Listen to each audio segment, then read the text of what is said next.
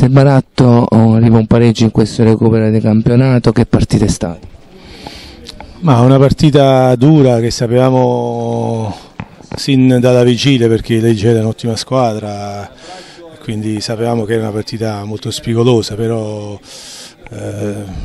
sì, sicuramente noi non siamo stati brillanti come domenica scorsa dove avevamo fatto veramente molto bene nonostante il risultato poi finale. Oggi abbiamo secondo me un po' risentito delle fatiche di domenica, anche se questa non è attenuante, però Mm, abbiamo anche giocatori che non stanno al massimo della condizione quindi abbiamo pagato un po' dazio però eh, penso che poi alla fine dei conti il nostro portiere non abbia fatto nemmeno una parata. Sono stati bravi loro nell'unica indecisione nostra a pareggiare questa partita eh,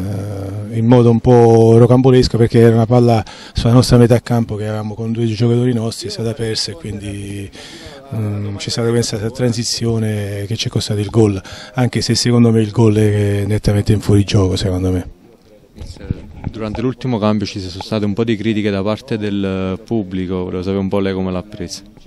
Ma le critiche di che cosa? Per, far, per, per aver fatto giocare Ferraro cercando negli ultimi 5 minuti eh, qualche sprint, mettere un attaccante in più per cercare di vincere la partita, ma poi perché abbiamo queste cose contro calciatori che danno l'anima e sputano sangue? Giustamente Pasquale è un ragazzo che fa parte della squadra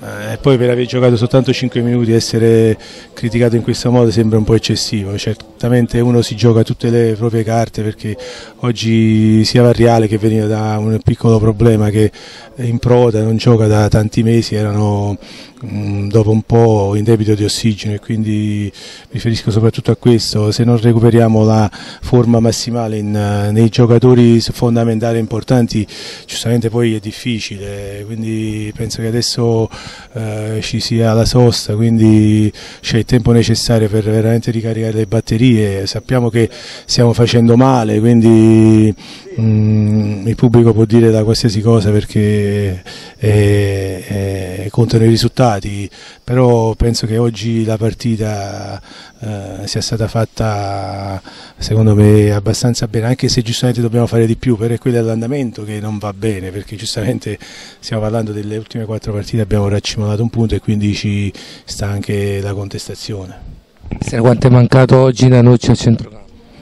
Eh, quando è mancato, me lo dite a me tantissimo, perché è l'uomo di maggiore spicco, quello che ha, ehm, che ha, tanta qualità e quindi sicuramente è un uomo fondamentale per questo scacchiere. Eh, ma noi, purtroppo non c'è Danucci, non possiamo fare altrimenti.